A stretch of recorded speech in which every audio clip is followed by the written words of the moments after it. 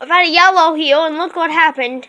Chandler Smith gets wrecked right there, and then and then, uh, just just just nowhere to go for the uh, 26 of Ankrum.